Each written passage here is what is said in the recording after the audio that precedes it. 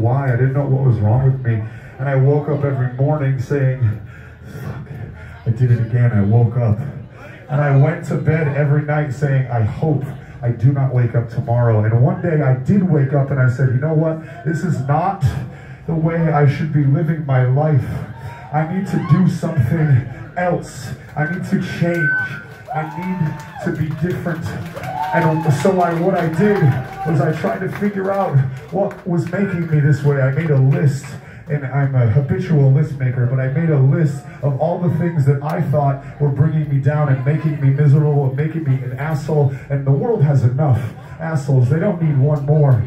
So I was making a list of all the things that made me this way. And slowly but surely, I started crossing all of that shit off of the list, pushing all of that shit out of my life. And now I can tell you that I am the best version of myself right now than I ever have been, and I will be better tomorrow, and I will be better the next day.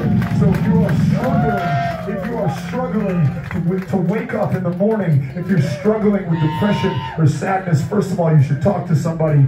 Secondly, you should try what I did. Try and be better. It's hard. It could take fucking years. It could take forever. But you will come out on the other side happy, smiling, and the best version of yourself that you have been. I have you to thank. I have these fucking guys to thank. Thank you. Thank you for sticking with me. Thank you for understanding. And thank you for knowing that just because I smile now doesn't mean I'm going to write happy songs. I still have anger.